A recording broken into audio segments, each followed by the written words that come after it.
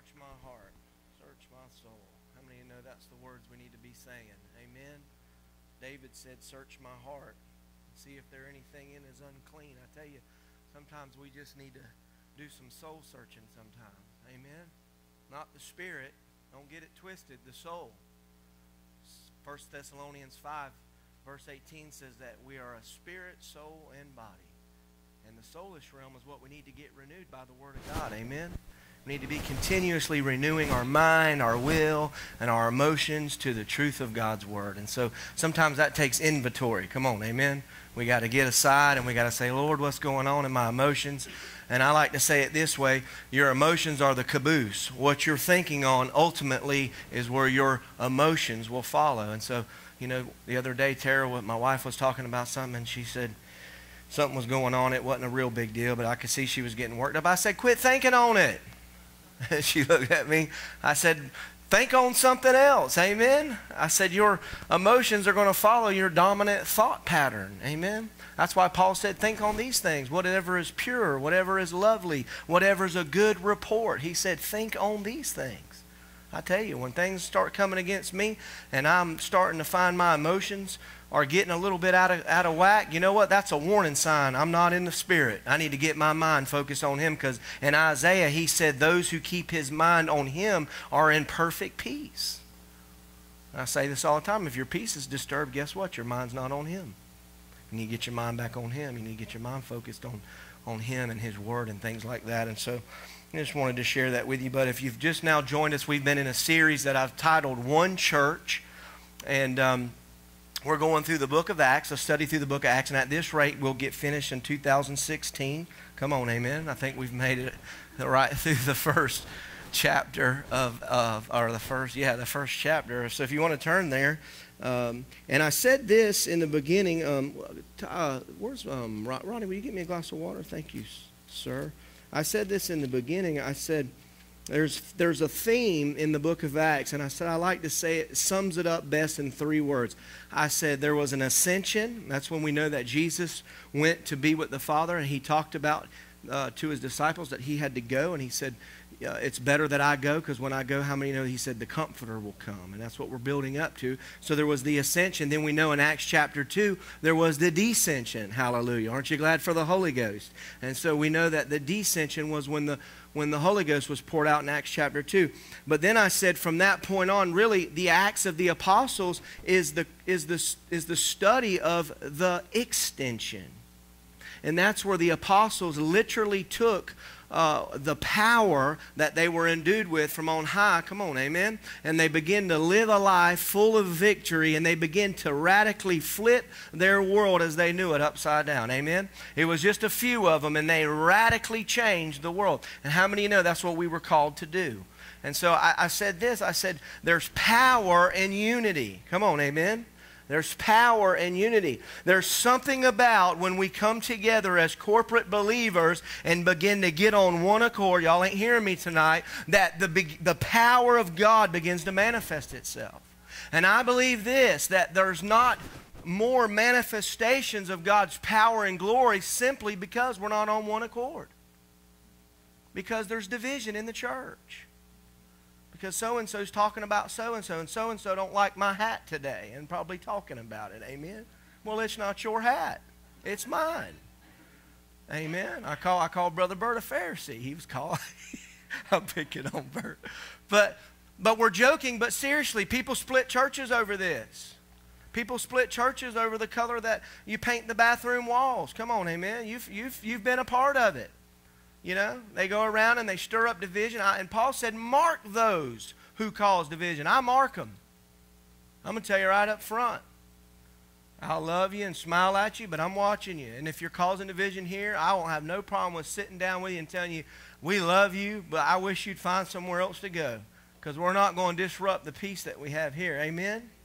Because that's what the scriptures tell me to do as a pastor, as a shepherd. I am shepherding your souls, and one day I'm going to give an account for each and every one of you. I take that very serious. I might dress a little different than your average pastor. I might talk a little different, but I'm very serious about my call. I'm very serious about the mandate on my life. I'm very serious about the day that hands were laid on me and I was set into the gospel ministry. That's one thing I don't joke about. I'm very serious about that. And so, I, I, to me, I'm, I'm a shepherd over this flock, and I, I take that very seriously. And I'm not going to let people come in here and disrupt that.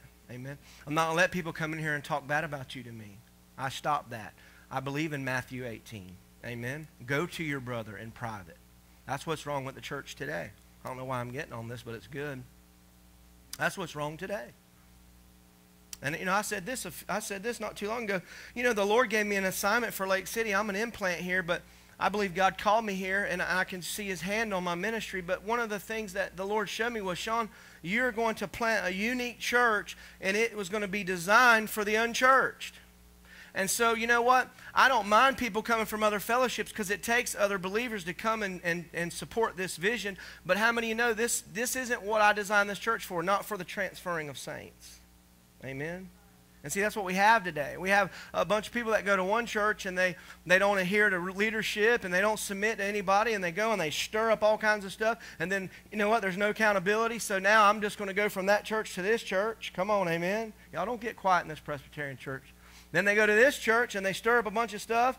And then when they get finally find out about them, then they go to the next church and they drag that baggage. Come on, amen. And nobody's ever accountable to anybody. So I like to know where are you from? Why are you here? Amen. we love you. You're welcome. But we just want to know why you're here. Well, you know, most of you've come from different churches, and I've heard your story, and and uh, you know, I'm fine with that. But you know, these are things that we have to talk about. You know, the seeker friendly churches today, pastors are afraid to talk about real issues for fear that man will leave their church. Well, I'm not, I'm not afraid. Praise God. Because it's God's church, it's not my church. It's his church. And I believe that he's going to bring people to, to come around me and this leadership team and, and support what we're doing and, and what I believe God's called us to do. and I've trusted him with that. And that's why some of you are here and have been with me for the last 16 months since we've become a body of believers. And so these are things that I'm talking about, but you know, we've got to get to where we walk in unity. Unity is important. If we really want to see the power of God in our midst, we have to be on one accord. We have to begin to think alike. We have to have the same motive. We have to see that, that all we want to really do is to exalt Jesus and not man. Come on, amen? We got enough of that today in the body of Christ. Everybody's chasing around the super dupers. I don't know where my water went. I guess Rodney forgot about me, didn't he? Oh, thank you, Rod. I repent. Sorry, brother. I love you. Rodney? Okay. It took both of them to do it? Oh. One to hold the cup, the other one to pour. Praise God. They're too busy laughing at my hat. I'm going to buy y'all a hat like mine. But, um, so that's basically what we've been talking about. So if, you, if, you're, at, if you're at Acts chapter 2, we're going to pick up right there. And in verse 1, it says, And when the day of Pentecost has fully come, they were all with one accord in that place. Here's the same thing we're seeing. Uh, when the day of Pentecost fully came, meaning that the sun had completely rose, the day had begun, amen. It says that they were on one accord. I truly believe this is where the power started because you know that Jesus told them to go in uh, Luke chapter 49. He said, Tarry in the city of Jerusalem until you are endued or endued with power from on high. So this was a commandment that Jesus gave to the early disciples. Notice I said commandment. Uh-oh. It wasn't a suggestion. Hey, well, if you got time, go down there and wait in Jerusalem and get filled with the Holy Ghost. It was a commandment. Why? Because it's necessity for us to be filled with power, to be endued with power, if we're ever going to fulfill the call of God on our life. Amen? You're not going to do it just being born again. I'm here to tell you. That might hurt your feelings. It might offend you. I love you. I got to tell you the truth. You need the baptism of the Holy Ghost. If you're ever going to fulfill the call of God on your life, you need to be filled and endued with power on high. Jesus never did a miracle one until he was baptized with the Holy Ghost. Then he went out into Cana and turned the water into wine. Check me out. See if I'm right. John chapter 2. John chapter 2. John said that the Spirit, like a dove, it wasn't a bird, it was like a dove Come on, amen. You get charismatics. You start talking about birds flying everywhere and feathers out of the ceiling. It was like a bird, and it descended on them, and it remained there, the scripture says. It's important that we understand that. Jesus operated in the gifts of the Holy Ghost. Why? Because it confirmed that he was sent from the Father. How many know today when we operate in the gifts of the Holy Ghost, it confirms that we're disciples of Jesus? and that the power of God is manifested in our lives. We see another, another place. If you turn over with me quickly over to Acts chapter 4, I'm going to jump ahead, but it's just something I want to kind of tie into what I'm saying here. If you look over in um, wonderful chapter there, but if you look in Acts chapter 4, and you start in verse 29, it says, And now, Lord, behold their threatenings, and grant us, thy servants, with all boldness, that they might speak the word. I love this. I can't help. I have to park here for a minute. Notice what he said. They didn't say, Lord, take the circumstances away. How many y'all hear that a lot being prayed in the church today? Notice how the early disciples prayed. They said, Lord, grant us boldness. Well, how many know they had that boldness when they were endued with power from on high? See, here's another thing. You need the boldness of the Holy Ghost. In fact, Audrey had a teaching. It was called Holy Ghost Boldness. And uh, she was here recently in our church. She was ministering on, on, on several things. But I listened to her message on that, and she was talking along these lines about the baptism of the Holy Ghost. And one of the uh, clear characteristics of the baptism, and I'll disagree with mainline Pentecostals because they believe that it's always the evidence of speaking in tongues, and I disagree with that. I believe that the first manifestation that we see is a Holy Ghost boldness. Amen? Someone who's bold. That's what we saw with Peter as we get into the text a little bit further. We see a boldness. We see a radical shift from Peter uh, denying Christ then standing up before the Sanhedrin and the same people that crucified Jesus, saying, He is the Messiah. He is the Christ. This is the one, knowing that the same people could just crucify him in a few minutes.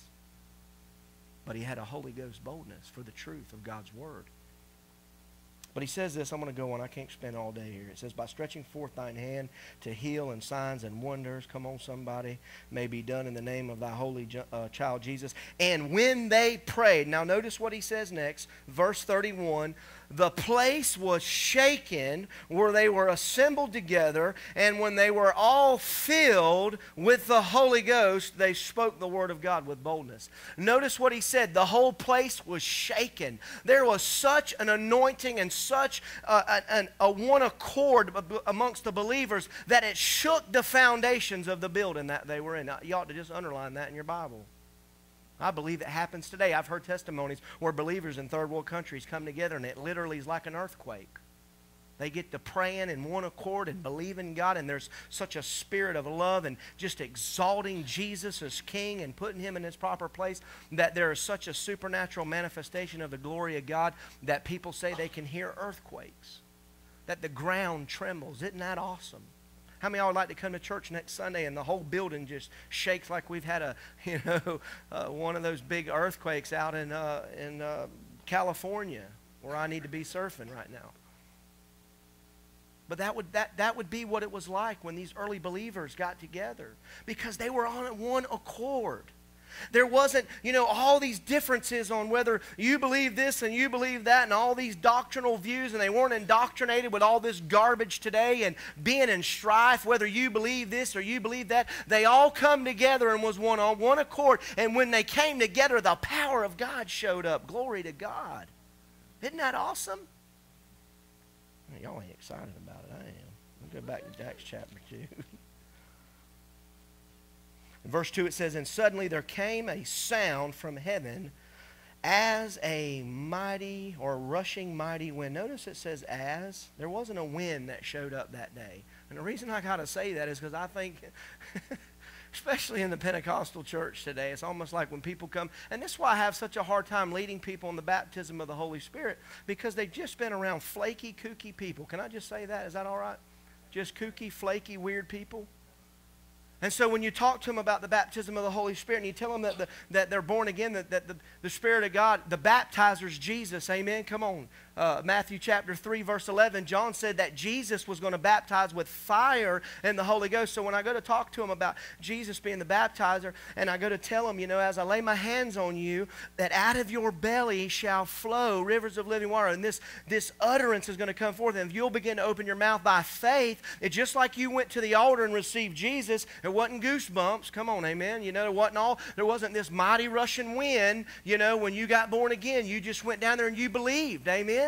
But everybody's looking for the Holy Ghost to come out from, you know, from behind a tree or, you know, a glory ball is going to bust through the ceiling. And you know what? That's why the enemy uses that stuff, and that's why people have to rationalize this, and they go, well, I don't understand. Am I making things up? Am, you know, am I going to get slain? Am I going to fall down right here? No. You're going to operate in it by faith. You're going to receive it as a gift. That's what he says in Luke chapter 11 when he's talking about the earthly father. And he says, you know, you being an earthly father know how to give good gifts. How much more will your heavenly father give the Holy Ghost to those who ask of him? It's for everybody. Amen? It's for everybody. It's not for the super saints. It's not for the pastor. It's not for the fivefold ministry gift. Okay, it's not for the apostles, the evangelists, the it's not, it's for every believer. Mark chapter 16 says, These signs shall follow them who help me out. Believe. And what's he say? You shall cast out devils. You shall speak with new tongues. These are the things the believers are to do. Amen? We've lost that in the church today. Or we got the other half that are just spooky kooky. Nobody wants to be a part of that. Huh? For not hanging off the chandeliers and running around knocking chairs over. You know, the, the, the Spirit of God's not moving. The Spirit of God's not flaky. It's genuine. Amen? I knew we weren't going to get far. In verse 3, he says, And there appeared unto them cloven tongues like as of fire, and sat upon each of them. There again, notice what he says, as fire. You know, the word fire there is very significant because if you notice, when the Pente- when the when the baptism or the or the outpouring of the Holy Spirit rather came, there was a there was a cloven tongue like fire, and I believe that that fire in, in is really the, the the the presence of God. You know the powerful presence of God. Just like when, when the Lord uh, ha- handed the law down to Moses, what happened? There was fire there. And I believe that fire burns off all the impurities, burns off all the things around us. And, you know, God uses this, this fire to, to kind of show us this glorious presence of who He is. But He says, like. It's, it wasn't a fire, it was like them. And it says, and they all shall be filled with the Holy Ghost and begin to speak with other tongues. Now, I want you to underline this in your Bible other tongues. And I'm going to I'm going to teach a little bit on this other tongues as the Spirit gave them utterance. First thing I want you to notice is there's, there's more than one kind of tongue. Amen? There was other tongues that were there. And why it's important to bring that out, because there's doctrines today in the body of Christ, mainly in your main, mainline evangelical, that will agree, yeah, they were speaking other tongues. They were known languages. Well, I'll agree with that. We're going to get on in a few verses and see that there were people there that heard their native tongue. But I want you guys to fast forward with me over to 1 Corinthians chapter 14. And I'm going to teach you something. Can I teach y'all something tonight? Let's go over there. And first, let's actually let's back up to verse 13. I mean, chapter 13, verse 1. This is Paul speaking to give you context. He's bringing correction to the church of Corinth because the church of Corinth had been acting like kooky spookies. They've been acting flaky. They're swinging from the chandeliers.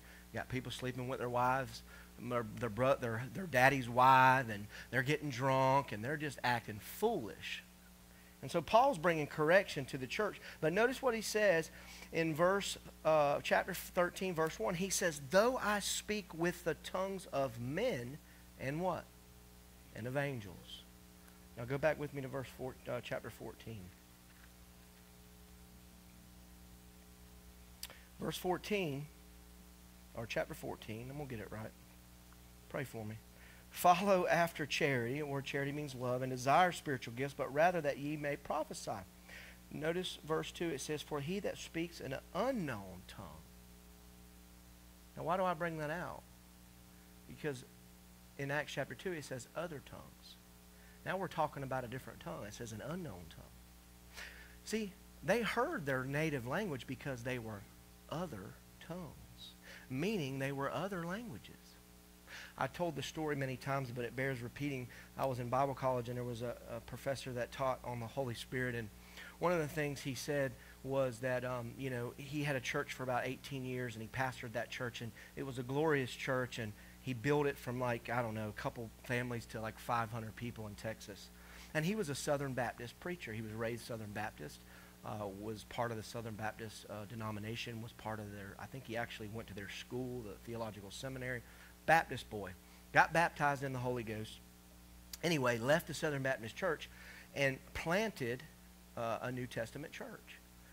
And during this time, he said he had so many wonderful things happen in their midst and in, in, in, their services and things like that. But one day, particularly, he said a message of tongues came forth in the service. Now, I want to just go ahead and tell you what that was. That wasn't somebody praying to the Lord, that wasn't an unknown tongue. It was a message of tongues in a service. It's not your prayer language to the Lord. It was a message given.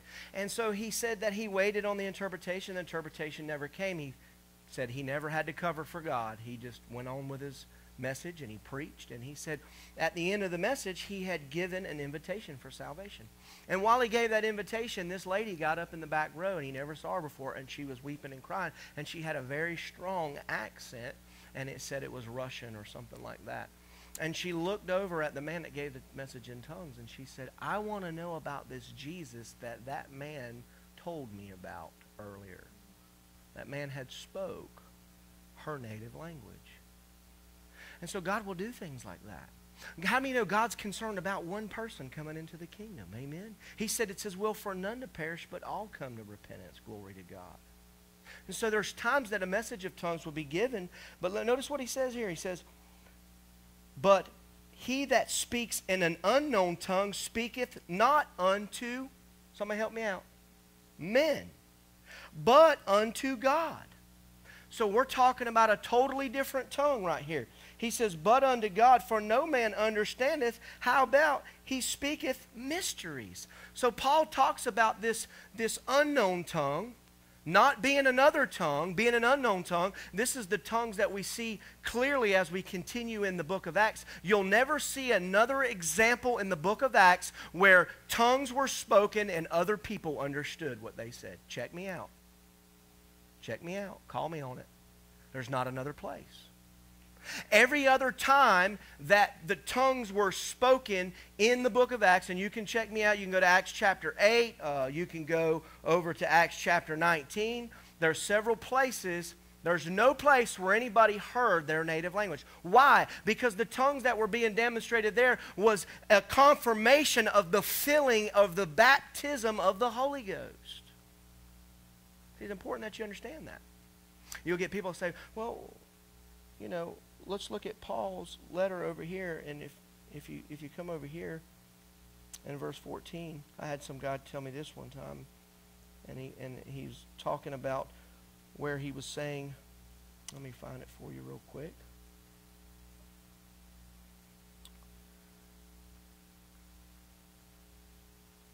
This is a sign.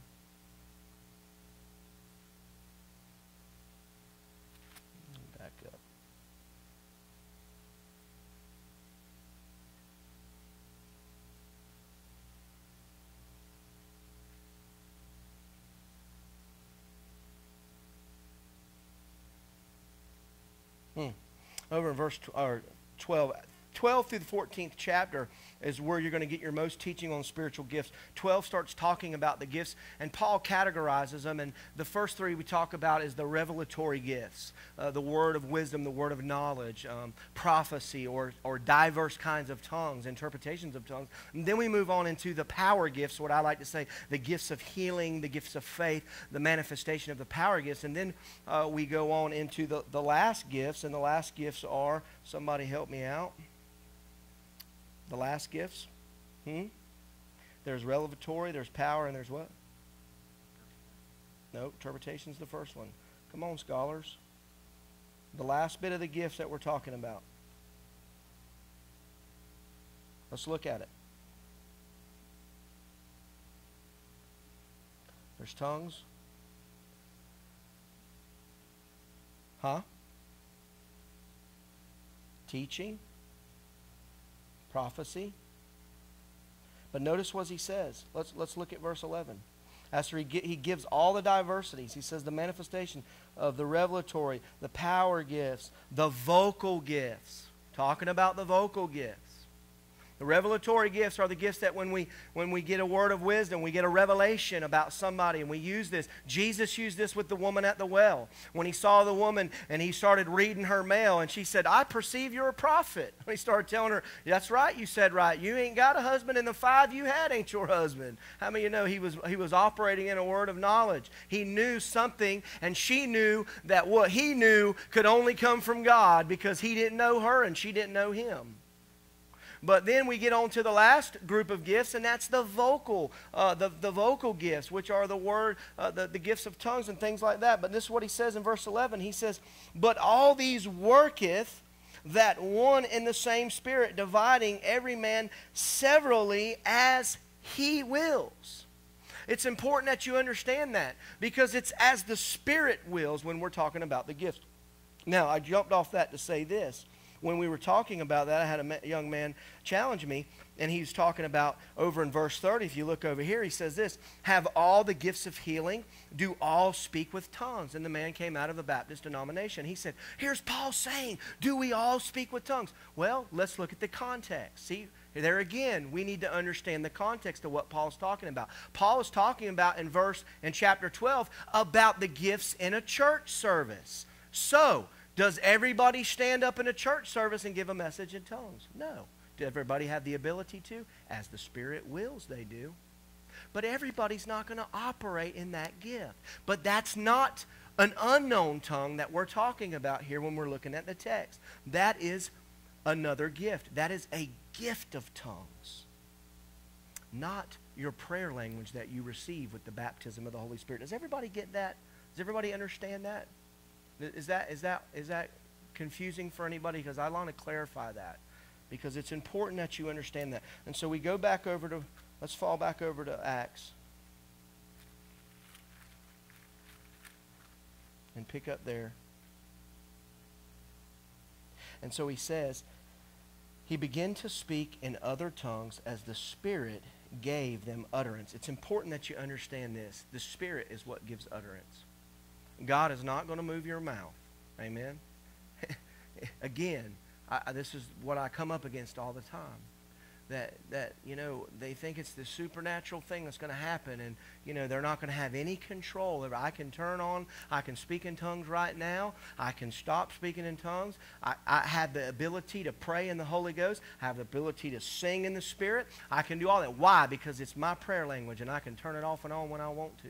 Amen? It's not the same as if i'm in a service and all of a sudden i get this prompting from the holy ghost and i get this feeling and i know that i've got a message for this congregation and then I stand up in front of a church service and I give a message in tongues. And guess what? A few seconds later, somebody, Kimberly, stands up in a few minutes and goes, I feel like this is what the Lord is saying. Ta, ta, ta, ta, ta. And she gives the interpretation. It's not the same. Now, you might come in here and there's people that's coming in this church and they hear us worshiping and they hear us singing in the Spirit and praying in the Spirit. They think, well, you're out of control. No, because we're speaking unto God, not to man, we're speaking mysteries. We're exercising our prayer language. It's important that you understand that because this has been so much controversy. And let me tell you why it's controversy. Because the devil don't want you speaking in tongues. Why? Because there's power. Because when you speak in tongues, you speak the perfect will of God. See, we can ask amiss when we're in our in our normal um, prayer time with God, huh? It's still filtering through a natural man. And so oftentimes we say, Father, I thank you, Lord. And I, I, you know, we're in our prayer time and we're praying to God and we're saying, Lord, I want you to give me this because I'm going to do this. And you know what? We may be asking with the wrong motive. That's what James said. He said, You have not, but because you, you ask not. But then he says, You have not because you ask amiss. See, but when we pray in the Holy Ghost, we are praying the perfect wisdom of God. And guess what? It's always right. I spend most of my time praying in tongues. I, I very little pray in English. In fact, some of you, when I get a visual picture of you, and I, and I don't know what's going on in your situation, but the Lord lays you on my heart, and I just get a, a picture, and maybe I, I just get a picture of what I saw you sitting and wearing in Sunday. And then all of a sudden, I go to praying in the Spirit. Why? Because I'm praying the perfect wisdom of God over your life. Isn't that good? See, I'm not putting any of me in it. I'm, I'm praying spirit to spirit. My spirit is communicating perfectly to the Spirit of God. Man, that is awesome. That is one powerful truth. And so I know I'm praying the perfect will all the time. When there's time I need wisdom and I don't know what to do, I just start praying in the Holy Ghost. I say, Lord, I don't know what to do in this thing, and I just start praying in the Holy Ghost, and guess what? All of a sudden I start getting I start getting revelation. Why? Because I'm praying the perfect wisdom of God. And guess what? He's downloading back into me. And guess what? Now my mind is starting to be fruitful and I'm starting to realize, okay, I see a picture or I, I get a word or something and I say, this is what I need to do. I'm telling you. This is what Paul's talking about when he's talking about the mysteries over in 1 Corinthians. He's talking about when we speak mysteries in an unknown tongue, we're speaking mysteries unto God. He said, These tongues are not for men, they're for you and they're for every single one of you. The baptism of the Holy Spirit is good. It's not a bad thing. It's not a weird thing. It's a good thing. Jesus talked more about it in John chapter 14 through the 17th verse than he talked about anything. He said, When the Comforter comes, he said, He'll lead you and guide you into all things. He said, It's better that I go because when I go, my Father's going to send the promise. Hallelujah. And in Luke 24 and verse 49, that promise was to go tarry in Jerusalem until you are endued with power from on high. I don't know how people get through this life and not be baptized in the Holy Ghost. I, I don't know how they do it. I guess some of them just got easygoing personalities and things like that, but I couldn't make it. There ain't no way if I couldn't draw on that power that I got on the inside of me, that I couldn't draw on the wisdom of God, that I couldn't draw when I when things. Sometimes that's all I. You know, I, my pastor's going through something right now very, very difficult situation. And he said, Sean, I just find myself waking up at 3 or 4 o'clock in the morning and just crying out and crying out in tongues. He said, the other day I just walked over the bridge over in Titusville. It's a big causeway where I'm from. And um, he said, you know, I just walked, I got up and left my house at 3 o'clock in the morning. And he said, I just cried out in tongues and just, just walked that bridge. It was three miles one way and three miles the other way. Just, just praying and crying out to God and just getting getting wisdom from God. He said, man, you know what? When I got through praying and stuff, he said, God just started downloading things to me, started sharing things with me, giving me nuggets, giving me words. And he said, man, I came back so full of God's power and supercharged. Come on, somebody. He just felt like going and charging hell with a water pistol. Huh? Because in fact, Jude puts it this way. Jude said, Beloved, pray in the Holy Ghost, building up your most holy faith. That's what Jude says. See, it supercharges us like batteries. Y'all ever have a, you know, I, I, one of my teachers gave this analogy, and I like this. You've probably heard this if you've been around Charismatic Word of Faith Church long, but it's like a battery. There ain't nothing more sickening than getting in a car, and you know this, Bert, and you're ready to go to work, and you put the key in, and it goes, huh? You put the key in and you're getting ready to go to town or you're getting ready to go to work and you got to be there and you turn the key over and it goes. That's a sickening sound, ain't it? And you get that fresh hot battery, what happens when you turn that key on? Vroom, vroom. That's what it's like when you're praying in the Holy Ghost when you're drained down and you're and you're getting whipped by all the things of life, you start praying in tongues and building up your most holy faith. Guess what? It's like a supercharger. It's like you've been put on that battery charger, and all of a sudden, boom! I'm ready to go. Praise God. Shandalala, I'm ready to go. I'm ready to go. Like I said, I'm ready to go charge hell with a water pistol. Why? Because it's building up my faith, and I don't understand it. In my mind, it's not fruitful. I know one thing. I'm praying the perfect wisdom of God, and when I pray the perfect wisdom of God, I begin to get stirred up in the Holy Ghost. Amen? Y'all ain't getting this tonight, are you? It'll catch you later. In verse 5, he says, And they were dwelling in Jerusalem, and the Jews and devout men of every nation. This is what we were talking about. In verse 6, he says, Notice, uh, notice now that when the noise abroad and the multitude came together and were confounded because every man heard his language, uh, heard him speak in his own language. And they all were amazed and marveled, saying one another, Behold, are these not um, all these which speak Galatians. So they were dumbfounded. They were like, Isn't these just Galatians? How are they hearing all their native languages? Now, there's some controversy over this, too. So, you know, you might hear one scholar say this and another scholar say something else. But we know that there was 120 in the upper room, right? Amen? Now, I believe the whole 120 got baptized in the Holy Ghost. Why? Because Mark chapter 16 says, Those who believe. So I don't believe it was just the 12 or the 11 rather um, that were up there speaking in an unknown tongue. I believe that there was all of them here. And so, yes, out of all of them speaking, I would dare to say that there was probably 12 or 15 languages being spoke. But how many of you know? I'll just go ahead and take some liberty. There were some tongues being spoken that nobody knew what it was. Why? Because they were unknown tongues. They were tongues of angels. There was angelic tongues going on. And people were marveling at these ordinary men at 9 o'clock in the morning speaking in unknown languages. The same men that had been with Jesus. The same men that they said these are ordinary men. Unlearned men is what they called them. But now they were bold, standing up, speaking with power and authority. Glory to God. He goes on and says, And how were every man in our own tongue wherein we were born? Parth- Parthians, Medes, and Elamites, and the dwellers of uh, Mesopotamia and Judea and Cappadocia or Cappadocia and Pontus and Asia and I ain't even going to attempt that one. Y'all help me out.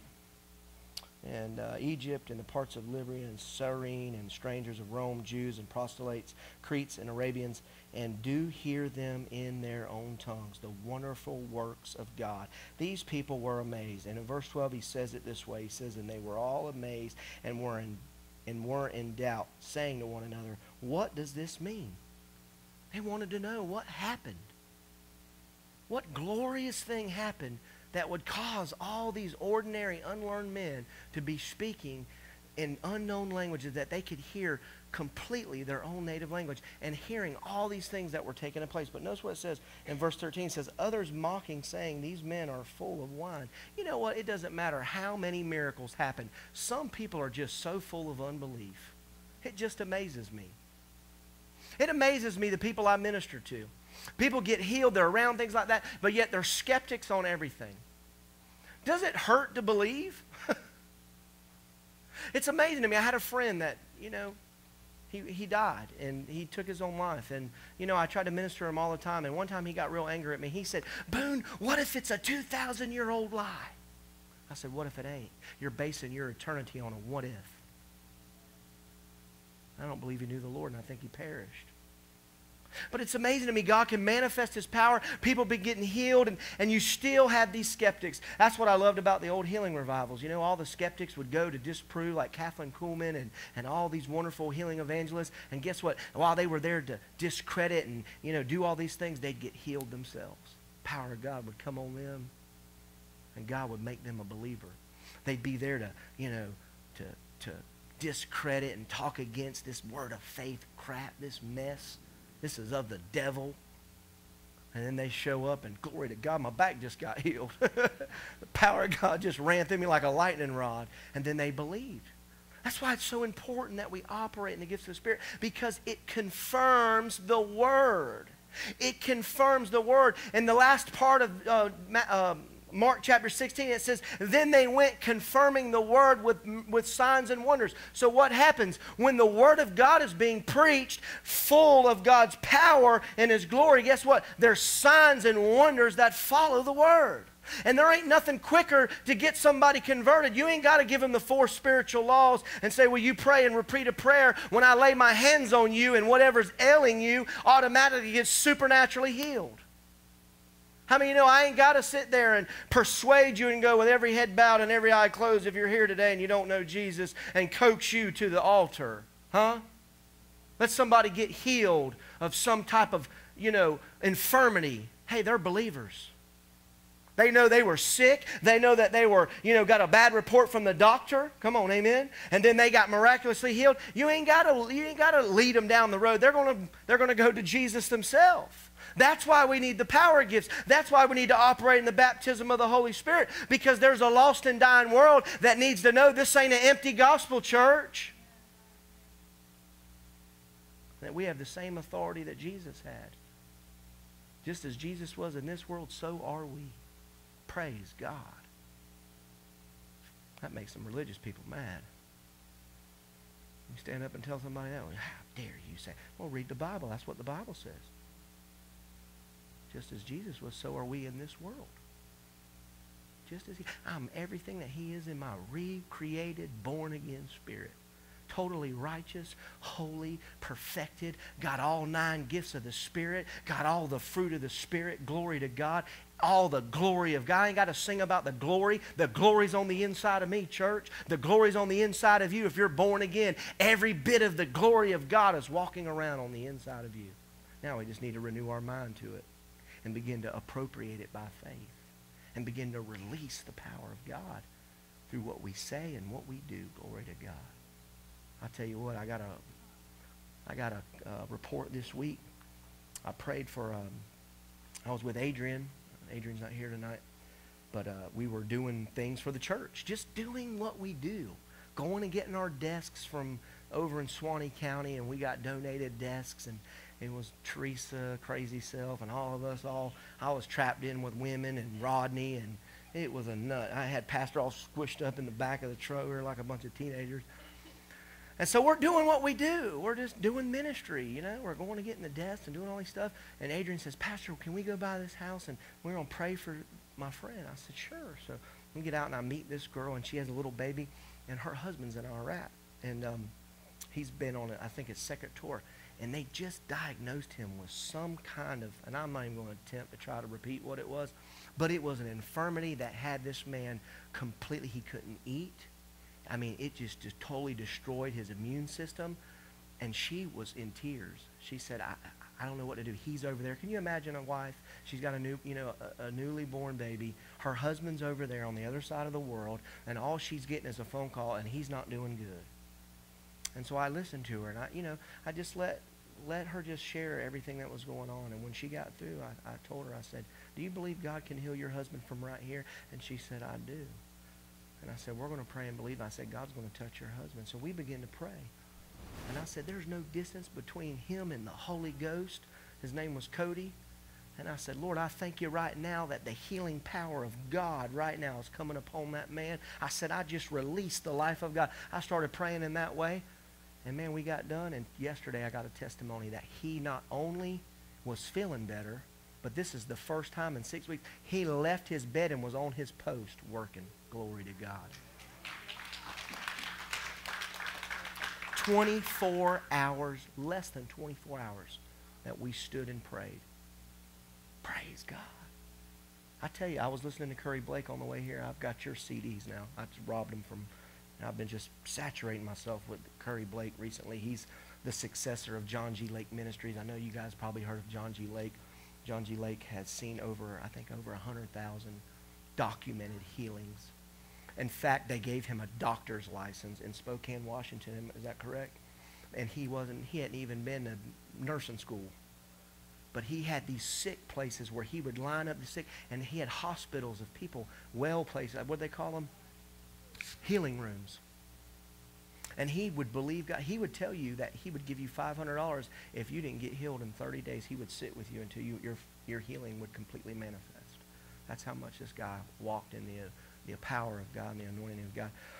But I was listening to, to the, these, these CDs over the last few days, and I just realized that it's so simple. You need somebody to help you mess it up. We've been taught so much religion and so much we've got to have a formula. And if we got to say this just right and we got to lay our hands and go, power, just right, and uh, we got to do all these kooky stuff, or the power of God doesn't work. But see, that's not the way the kingdom was set up. It's so simple, a kid can do it. It's so simple that all we have to do is come with childlike faith, believing that the same power that raised Christ Jesus on the dead, come on somebody, lives on the inside of me. And then when I lay my hands on them, just like the scripture says, we shall lay hands on the sick and they shall recover. When I speak the word of God, it will not return void. It will go and do what it says it will do. When I release the word of God, it will heal them and deliver them from their destruction. Psalms 107 says, on and on and go. But we just got to get that revelation on the inside of us. And stay away from naysayers and people who are baptized in unbelief that say, that ain't for today. Well, get away from me because it's working. Don't wake me up. It's working for me, praise God. Huh? Oh, yeah, I laid hands on her mom yesterday. And this isn't me. Please hear me. I know I'm saying me a lot. But we didn't even tell her we were coming down, but we were, we were over at. Yeah. Mm-hmm. Mm-hmm.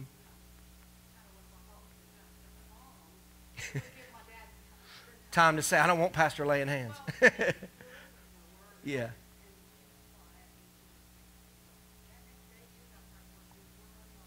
That's right. Her neck. She had a, when I got to the house, she had a big old heating or ice or I don't know what it was, heating pad. And I went in, I said, Is it all right if I pray for your leg? I thought it was her knee. And, uh, and she said, Pastor, it's her neck. It gave it away with the big neck brace, huh? I know. Y'all could tell I used to do a lot of drugs back in the day. I said, uh, I said, glory to God. So, uh, so I went over there and laid my hands on her neck, real simple, just commanded healing. I spoke to every muscle, every joint, every ligament, every, every uh, nerve. And the next day, and that, that's a good way to put it. She got messed up with Jesus, didn't she? Glory to God. She was outside doing yard work. Glory to God. Y'all don't wake me up. It's working. You know, he said that there's less than 10%, Curry Blake said this, less than 10% of churches are actually seeing, or not 10%. Churches are seeing less than 10% healed. And I, and I know y'all are going to think this is haughty, and that's not me. It's this church. But I promise you, we're seeing 50% of people that we heal for, that we pray for healing as being ministered to and being fit. I would say five out of 10 people are being healed in this church. Glory to God. Give the Lord a hand. I tell you. You know why? Because we're a word church and we believe the word. We don't believe what man says. We don't believe what we've been indoctrinated what grandpa said and what pastor so and so said and bishop so and so. No, I believe what the word of God said. And the word of God says I can lay hands on the sick and they shall recover. And as long as there's sick folk, I'm going to lay hands on them. And as long as there are people that need Jesus, I'm going to preach Jesus. When I preach Jesus, people don't get saved all the time, but I'm not going to quit preaching Jesus. Amen? And that's the way we need to be. And I know I need to tighten up. So let me just wind this on up. And he says, but Peter, standing up with the eleven, lifted up his voice and said unto them, Ye men of Judea and all that dwell in Jerusalem, and you known unto you, and hearken to my words. Peter saying, Pay attention. Verse 15, For these are not drunken as you suppose, seeing that it's the third hour of the day. Well, there are people around Lake City get drunk at 9 a.m., but maybe it was a little different over there. but he says, but this is what was spoken through the prophet Joel. Now, here we're talking about a messianic prophecy that was given in chap- Joel chapter 2 and verse 28.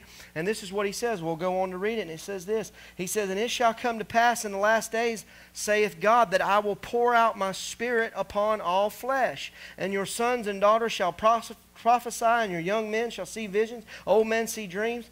And on my servants and on my handmaids I will pour out in those days in my spirit, and they shall prophesy. And I shall show wonders in the heaven above, and signs in the earth beneath, blood and fire and vapor and smoke. And the sun shall be turned into darkness, and the moon into blood, before the great day, a notable day of the Lord shall come.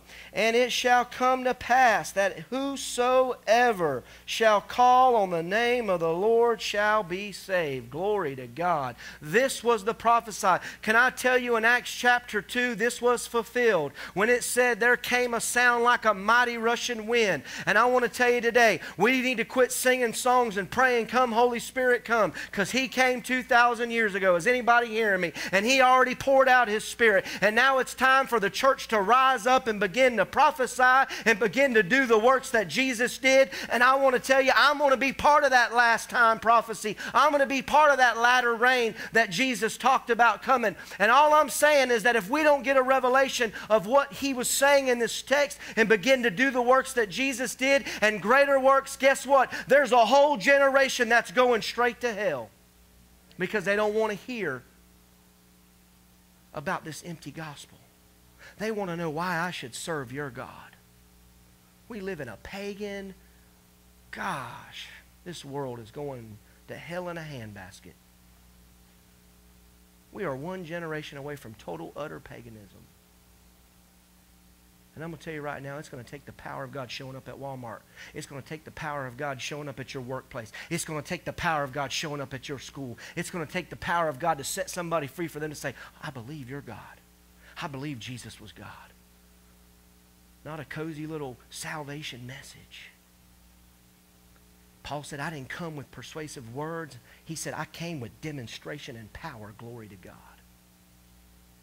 Paul wasn't a great speaker. He wasn't very impressive with his looks neither. But when Paul showed up, he said, Wait till I get there, because when I show up, we'll see. That's what Paul said. When I, when I get there, we'll see who's got the real message. Why? Because Paul knew when he began to speak the word of God, things begin to change from the spiritual to the natural. Come on, somebody. Things begin to manifest. He brought things out of the spiritual and they begin to manifest in the natural. And guess what? Lives begin to change. People begin to set free. Infirmities begin to go. Devils begin to be casted out. It's the same gospel. Jesus said, I'm the same yesterday, today, and tomorrow. I change not. Same gospel. We serve a God who can do creative miracles that can raise the dead, set the captives free. He wants to do it in each and every one of you. The problem is, are you going to be usable? Quit praying, God, use me. Start praying, God, make me usable. That I can start to declare your works and do the things that you said that I can do. Would you stand with me tonight? Hallelujah.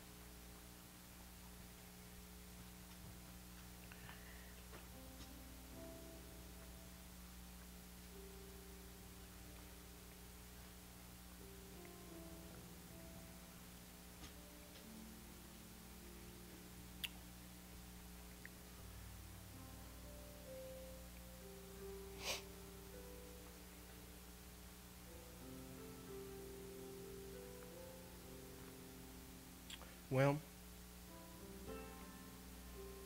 the first step that we have to do is first we just have to receive. We have to get to a place that no matter what we've been taught, what does the Word say? And as I shared tonight, the Word says that the baptism of the Holy Spirit is not only good, but it's for you. It's for each and every one of you. And it's not just so you can go and talk in tongues. It's so you can complete the ministry, the plan of God that he has for your life. Jeremiah 29 11 says, For I know the plans I have for you, saith the Lord. Plans to give you a hope and a future. In fact, the King James says, to give you an expected end. Glory to God. And that expected end needs the power of God operating in your life. For you to get to that expected end, you simply cannot do it without being endued with power from on high. And so with every head bow and every eye closed,